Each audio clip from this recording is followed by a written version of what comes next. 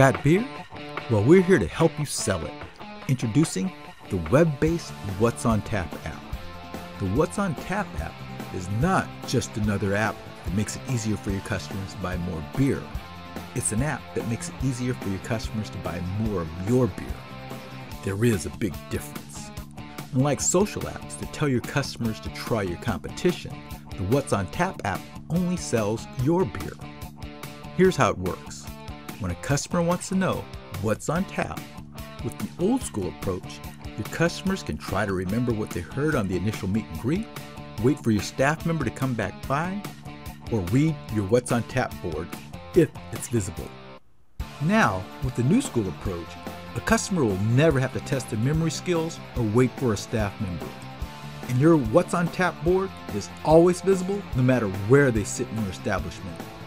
Today, we're going to add a virtual staff member, a member that's always available to service 1, 10, or even 100 customers all at the same time, and no one has to wait.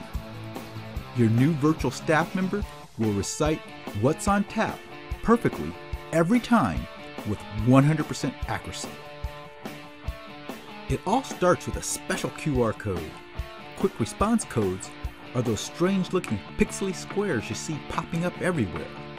And the reason they are becoming so popular is because they can be scanned by anyone with a smartphone. You can place your What's on Tap QR code on almost anything you want coasters, table tents, wall art, menus, flyers, whatever.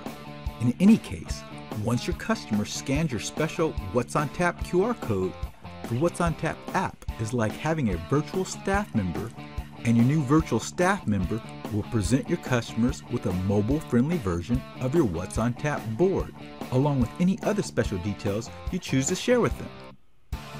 Now, your customer is ready to order when your regular staff member returns to service them.